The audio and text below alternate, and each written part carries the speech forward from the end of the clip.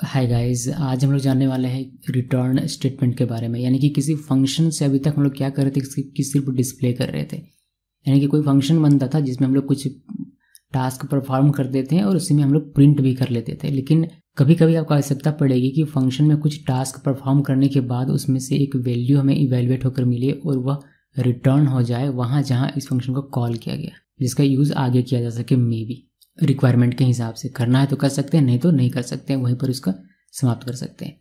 तो इसी चीज़ को हम लोग कहते हैं रिटर्न स्टेटमेंट जब आप किसी फ़ंक्शन से कुछ रिटर्न लेते हैं तो हम लोग रिटर्न स्टेटमेंट का यूज़ करते हैं। Return statement can be used to return something from the function in Python it is possible to return one और मोर वेरिएबल्स और वैल्यूज़ पाइथन में आपको ये फैसिलिटी मिलती है कि आप एक से अधिक वेरिएबल या वैल्यू रिटर्न ले सकते हैं एक फ़ंक्शन से।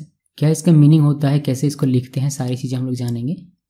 सिंटेक्स की अगर बात करें तो आपको लिखना है रिटर्न रिटर्न आपका कीवर्ड है। देन आप बिटवीन पैरेंथिस या फिर पैरेंथिस नहीं भी लिखते हैं तो भी चलेगा काम। इसके अंदर में आप लिखते हैं, यानी कि रिटर्न के बाद आप लिखते हैं, या तो वेरिएबल या फिर कोई भी एक्सप्रेशन आप लिख सकते हैं, जो कि इवेलुएट होकर आपको रिटर्न होकर मिलेगा।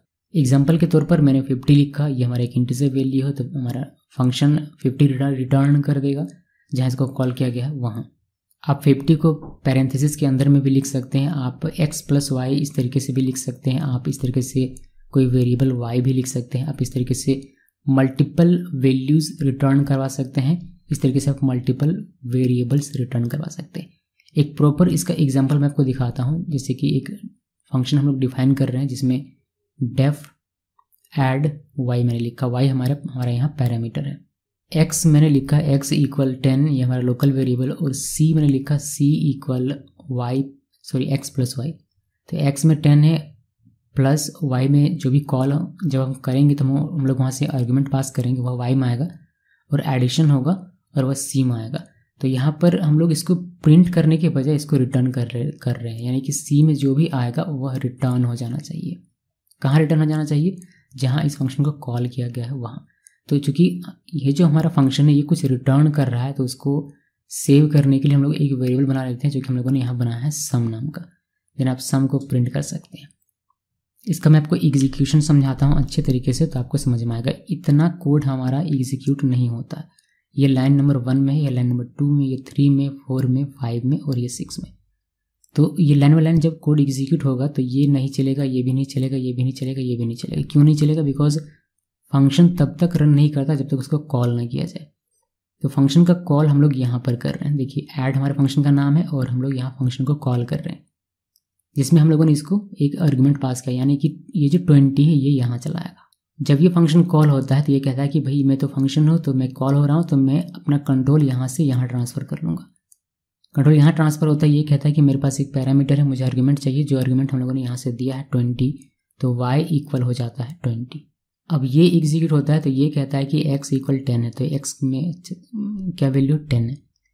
C ये एग्जीक्यूट होता है, ये कहता है कि टेन में सॉरी x में जो कि टेन है और y का वैल्यू कितना आया है ट्वेंटी तो टेन प्लस ट्वेंटी यानी कि c में कितना आया थर्टी और हम लोग इस थर्टी को यहाँ प्रिंट करने के बजाय क्या कह रहे हैं कि रिटर्न कर दो, ये फ़ंक्शन से रिटर्न कर दो सी यानी कि थर्टी तो ये रिटर्न कहाँ कर, ये रिटर्न करता है ये रिटर्न करता है इस फ़ंक्शन कॉल के पास, यानी कि जहाँ भी आप फ़ंक्शन को कॉल करते हैं, वहाँ पर ये रिटर्न कर देता है।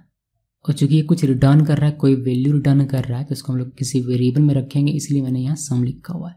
देन हम लोग फाइनली यहाँ सम को डिस्प्ले कर लेते हैं। बस यह एग्जीक्यूशन इसको एक बार और हम लोग देखेंगे, जब हम लोग अभी कुछ देर कोडिंग में आएँगे तब। सिमिलरली एक और देखिए। डेफ लिखा, ऐड लिखा, वाई और एक्स इक्वल वाई, यहाँ हम लोगों ने रिटर्न कर लिया है एक्स प्लस वाई, यानी कि सीमा असाइन करने के बजाय। डायरेक्टली हम लोग इसको एक एक्सप्रेशन दे रहे हैं कि एक्स प्लस वाई करो, जो भी वैल्यू इवेल्यूएट होकर आए उसको रिटर्न कर देना है। कहाँ? जहाँ भी इसको कॉल किया जाएगा, वहाँ देन इसको लोग प्रिंट कर लेंगे।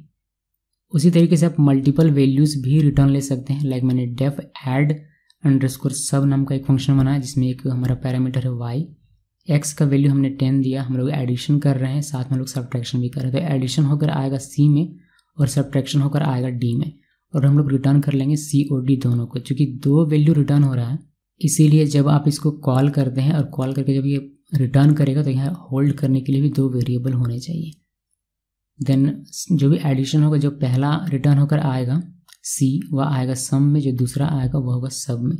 सो जब आप सम प्रिंट करेंगे तो आपको एडिशन वाला आंसर मिलेगा। जब आप सम प्रिंट सब प्रिंट जब आप सम प्रिंट करेंगे तो आपको एडिशन वाला मिलेगा और जब आप सब प्रिंट प्रिंट करेंगे तो आपको सब्ट्रैक्शन वाला मिलेगा। इसको हम लोग प्रोग्राम में देखते हैं और इसको क्विकली ख़त्म करने की कोशिश करते हैं।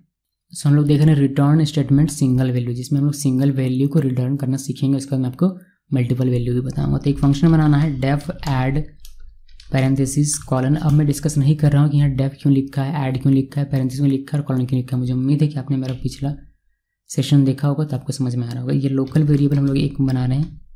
टेन बनाया देन वाई इक्वल ट्वेंटी बनाया। Then C equal X plus Y और इसको हम लोग रिटर्न ले लेंगे। रिटर्न सी सी को आप पैरेंथेसिस के अंदर में भी कुछ इस तरीके से लिख सकते हैं। अगर आप चाहें तो। बट ये ऑप्शनल है, आप नहीं भी लिखेंगे तो आपका कोड रन करेगा। देन यहाँ पर हम लोग कॉल करेंगे। जो फ़ंक्शन हम लोगों ने बनाया है कॉलिंग अ फ़ंक्शन इसको हम लोग यहाँ कॉल करेंगे। तो ऐड हम लोगों ने कॉल कर लिया। अभी जैसे ये कॉल किया तो ये हमारा एग्जीक्यूट होना स्टार्ट होगा। तो ये एग्जीक्यूट जब होगा तो ये कहेगा कि मैं एक सी रिटर्न कर रहा हूँ। तो इस सी को रिटर्न करेगा ये यहाँ पर। तो उस सी को होल्ड करने के लिए कोई वेरिएबल चाहिए तो हम लोग इसमें सम एक वेरिएबल बना देते हैं जिसमें हमारा सी चला आएगा। सो so, इसका एग्जीक्यूशन देखने से पहले इसको मैं एक बार रन करके दिखा देता हूँ आपको। प्रिंट सम सेव किया इसको सेव करने के बाद इसको रन करेंगे। तो हमें ये थर्टी आंसर देगा। अब इसको समझ लीजिए कि कैसे ये एग्जीक्यूट हो रहा है। एक बार फिर से। यहाँ से यहाँ तक का कोड हमारा एग्जीक्यूट नहीं होगा। जब तक ये कॉल नहीं होगा तब तक तो यहाँ हमारा ये कॉल हो रहा है। यहाँ कॉल हो रहा है तो यहाँ से हमारा कंट्रोल ट्रांसफ़र होगा। यहाँ पर।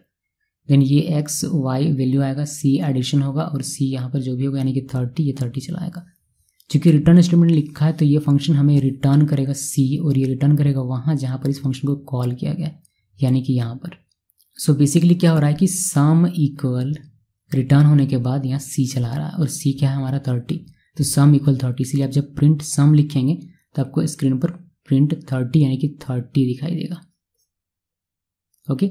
सो ये एग्जीक्यूट होने के बाद इसके नीचे अगर कोई कोड हो तो वह एग्जीक्यूट होना हमारा स्टार्ट हो जाता है। तो ये हमारा बेसिक सा कंसेप्ट है इसके एग्जीक्यूशन का।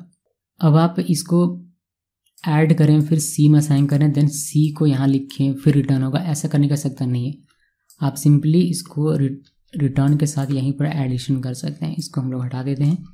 एक लाइन हमारा सेव हो रहा है, इससे बाकी सारी चीज़ें सेम जैसे काम कर रही है वैसी काम करेगी और हमें आंसर भी सही देखने को मिलेगा। अब अगर हम पैरामीटर की बात करें, मान लीजिए कि ये वाई का वैल्यू मैं हटा देता हूँ और वाई का वैल्यू हम लोग एज अ पैरामीटर यहाँ से लेंगे तो मैंने पैरामीटर लिखा और यहाँ पर मुझे आर्ग्यूमेंट पास करना पड़ेगा ट्वेंटी तो ये भी हम लोग जानते हैं कि कैसे काम कर रहा है। सेव किया सेव करने के बाद हम लोग इसको रन करेंगे तो हमें सही तरीके से ये काम करके देगा, यानी कि थर्टी देगा।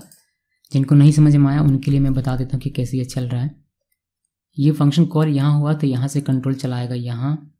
ये कहेगा कि मेरे पास एक पैरामीटर है, मुझे एक आर्ग्यूमेंट चाहिए तो मैंने कहा कि लो आर्ग्यूमेंट यहाँ वाई का वैल्यू चलाएगा ट्वेंटी ये एग्जीक्यूट होगा एक्स इक्वल टेन ये एग्जीक्यूट होगा तो पहले ये इसको इवेलुएट करेगा, यानी कि एक्स का वैल्यू है टेन वाई का वैल्यू है ट्वेंटी यानी कि ये हो जाएगा थर्टी रिटर्न करेगा थर्टी कहाँ पर? जहाँ इसको कॉल किया गया है, वहाँ, यानी कि यहाँ। देन सम इक्वल कितना हो जाएगा? सम इक्वल हो जाएगा आपका थर्टी और वही थर्टी आपको स्क्रीन पर देखने को मिलता है। सो so, अभी तक हमारा सिंगल वैल्यू यानी कि एक वैल्यू रिटर्न हो रहा था अभी हमारा यहाँ पर मल्टीपल वैल्यू रिटर्न होगा। सो मल्टी वैल्यू पर मल्टीपल वैल्यू रिटर्न कैसे लेते हैं? सब कुछ सेम रखते हैं यहाँ पर हम लोग क्या करेंगे कि एक सी बनाएँगे इक्वल एक्स प्लस वाई करके हमें ये देगा। एक हम लोग बनाएँगे डी जो हमें वाई माइनस एक्स करके देगा। और दोनों ही हम लोग यहाँ से रिटर्न लेंगे यानी कि सी कॉमा डी कॉमा करके आपको सेपरेट करना है ठीक? उसके बाद चूँकि दो चीज़ें रिटर्न हो रही हैं तो आपको यहाँ दो वेरिएबल लिखना पड़ेगा। सो so, सम और सब देन आप दोनों को यहाँ पर डिस्प्ले कर सकते हैं। मैंने इसको कॉपी किया पेस्ट किया और यहाँ पर सिंपली मैं सब कर दूँगा। सेव किया इसको सेव करने के बाद पहले रन कर लेता हूँ फिर आपको बताता हूँ कि कैसे काम कर रहा है। रन किया मुझे थर्टी और टेन मिल रहा है। देखिए कैसे काम कर रहा है। यहाँ पर हमारा फ़ंक्शन कॉल हो रहा है तो यहाँ से हमारा कंट्रोल ट्रांसफ़र होगा। यहाँ देन ये कहेगा मेरे पास एक पैरामीटर है तो उसके लिए एक आर्गूमेंट चाहिए तो मैंने ये आर्गूमेंट इसको यहाँ पर दे दिया। यानी कि वाई इक्वल हो गया हमारा ट्वेंटी याद रखिए। एक्स का वैल्यू टेन ट्वेंटी है। अब ये एग्जीक्यूट होता है तो ये कहता है कि एक्स का वैल्यू जो कि टेन है प्लस वाई का वैल्यू ट्वेंटी तो सी में चला आता है कितना? थर्टी ये एग्जीक्यूट होता है तो ये कहता है कि वाई का वैल्यू जो कि ट्वेंटी है, और एक्स का वैल्यू जो कि टेन है तो ten minus sorry twenty minus ten D में चला आता है टेन सो सी में क्या है? थर्टी है। और डी में क्या है? टेन है। जो कि रिटर्न हो रहा है। कहाँ रिटर्न हो रहा है? जहाँ इस फ़ंक्शन को कॉल किया गया, वहाँ यानी कि यहाँ पर। सो थर्टी पहले देन उसके बाद टेन तो थर्टी पहले है तो उसको होल्ड करने के लिए पहला यहाँ पर वेरिएबल आपको लिखना है। सो बेसिकली ये हो रहा है कि sum comma sub equal thirty comma ten so ये चलाएगा यहाँ पर और ये चलाएगा यहाँ पर। ये भी हम लोगों ने देखा हुआ था बहुत पहले जब हम लोग वेरिएबल पढ़ रहे थे और डेटा टाइप पढ़ रहे थे, तब देन आप फर्दर उसको दोनों को डिस्प्ले कर लेते हैं, यानी कि प्रिंट कर लेते हैं और आपको स्क्रीन पर थर्टी और टेन दिखाई देता है। ओके सो ये है इसका एग्जीक्यूशन अब इसमें एक और चीज़ मैं आपको दिखाना चाहूँगा कि यहाँ पर आप चाहें तो एक न्यूमेरिक वैल्यू इस तरीके से फिफ्टी भी लिख सकते हैं। तो ये तीन चीज़ें रिटर्न कर रहा है। तो आपको यहाँ तीन वेरिएबल लिखना पड़ेगा। तो यहाँ कॉमा देकर मैं ए लिख देता हूँ। और इसको भी डिस्प्ले कर लेते हैं। इसके लिए हम लोग यहाँ पर ए लिख देंगे।